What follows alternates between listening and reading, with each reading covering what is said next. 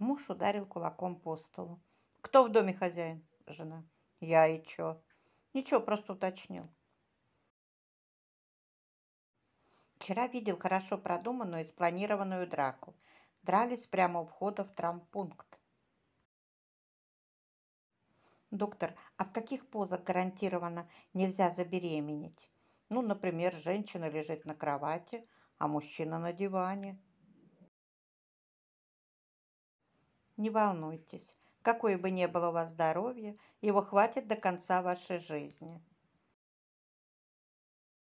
Идет игра «Что, где, когда». Ведущий. Вопрос нашего телезрителя из Рюпинска. Уважаемые знатоки, вы помните мультфильм «Каникулы в Простоквашино»? Как кот Матроскин взял на прокат корову Мурку, которая родила теленка Гаврюшу.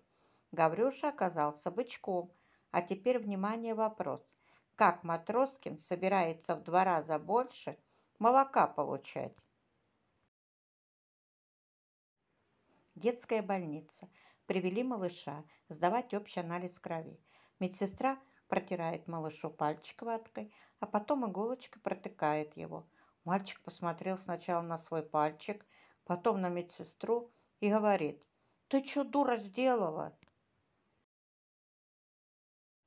«Зая, а может, завтра вечером на ужин откроем бутылочку вина?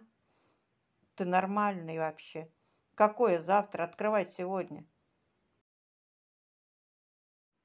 От пьяной исповеди вчера меня спас нулевой баланс на мобильнике.